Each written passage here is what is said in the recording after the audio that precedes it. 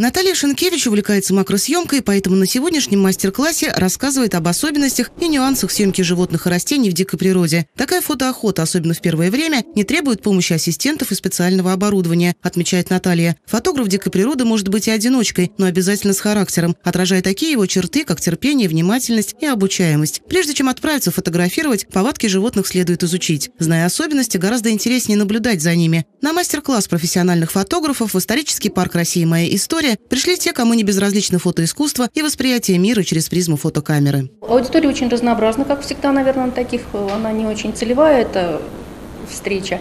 Поэтому дети, подростки, интересующиеся этим, это фотографы и люди просто не увлекающиеся не фотографией, не путешествиями, но кому нравятся животные, такие фотографии. Чтобы попасть на мастер-класс профессиональных фотографов, воспитанникам детского технопарка пришлось даже подкорректировать свое расписание. Ребята часто выезжают на природу, делают снимки, отправляют их на конкурс и немного расстраиваются, что не выигрывают. На мастер-классе, организованном Самарским областным отделением Союза журналистов России, они смогли узнать об особенностях макросъемки и увидеть удивительные кадры дикой природы. Как поймать того или иного там жучка, или там какую-нибудь антилопу, так, чтобы они были запечатлены еще и с художественной точки зрения. Для детей это бесценный опыт пообщаться с э, опытными журна... Э, с фотографами, с членами Союза журналистов, э, посмотреть, как нужно снимать, Своим восприятием мира с участниками мастер-класса поделился самарский путешественник и фотоохотник Владимир Рубинчик. В его работах запечатлены самые необычные моменты из жизни животного мира. Фотограф объехал немало заповедных мест. Видел закат на соленом озере Баскунчак, колонию розовых пеликанов в акватории Маноча, пару мгновений из жизни короткоухого зайца. Работы фотографов, которые поделились своим профессиональным опытом с участниками мастер-класса, можно увидеть в парке «Россия. Моя история» на выставке «Фотограни» со вторника по воскресенье с 11 до 19 часов до 5 марта марта. Вход свободный.